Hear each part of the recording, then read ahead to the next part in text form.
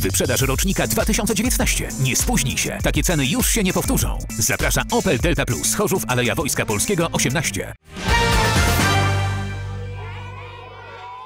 Jaworzno ma pomnik chomika europejskiego, a w zasadzie mierzącą około 30 cm rzeźbę, która została wykonana z brązu.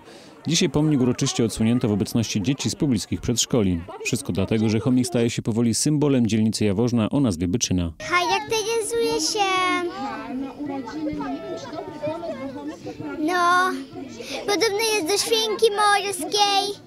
Bo nie chodzi tu o zwykłego chomika, jakiego wiele osób ma w domu. Ten europejski jest znacznie większy, bo mierzy nawet 30 cm, a potrafi ważyć nawet kilogram.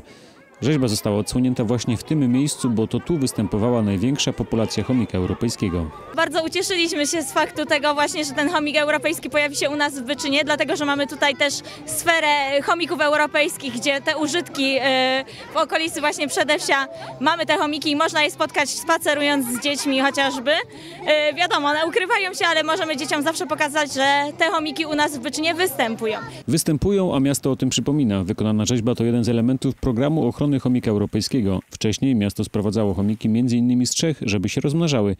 Prowadzi także akcje edukacyjne w jaworznickich szkołach. Ta rzeźba jest elementem e, edukacji e, w zakresie ochrony tego gatunku. To, to niestety przez długi czas był gatunek traktowany jako szkodnik. E, Po licznych badaniach, które ostatnio się prowadzi, okazuje się, że to jest jeden z najważniejszych elementów ekosystemów e, związanych z rolnictwem.